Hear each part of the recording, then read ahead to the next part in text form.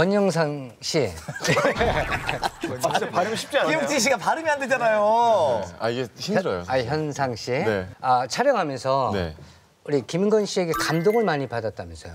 어, 그 선배님이 주연이시잖아요. 네. 자기 분량도 굉장히 많고 네.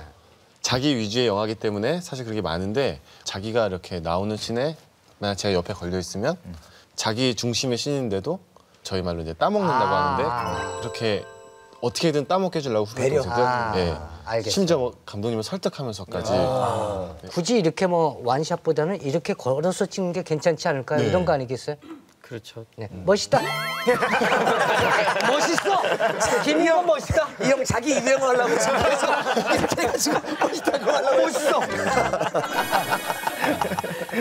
그, 그 이유는 뭐예요? 그러니까 전체 그 씬이 살기 위해서 이 하시는 건가요? 그렇죠. 그런 것도 있고 또 제가 사실 그래요. 제가 이제 티켓 파워나 이제 인기나 이런 면에서 약간 제 부족한 면도 인정을 하고 사실상 이렇게 MC 이렇게 멘트를 할 때도 누군가 잘해주고 있으면 마음이 편할 때가 있잖아요. 근데 저도 그 조연 생활을 쭉 하다 보니까 주인공이 요만큼 비었을 때 고기를 이렇게 꽉 채워주면 주인공이 만족스러워하는 그런 게 있더라고요. 그래서 어찌 보면 제가 빈 자리를 좀 채워달라고 이렇게 얘기를 한 거죠. 아, 빈 자리를 채워달라. 네.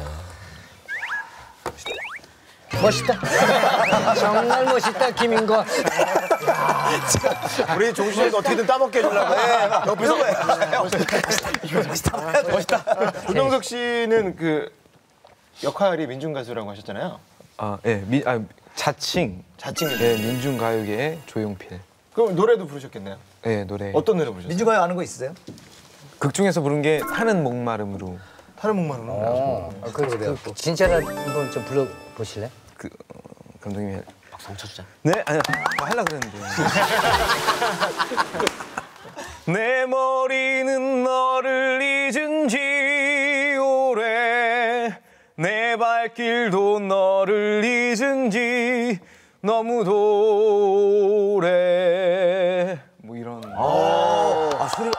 뮤지컬 배우 출신이라 아, 소리가 역시 다르다 달라. 고마워 오늘 오늘 주제는 배려인가요?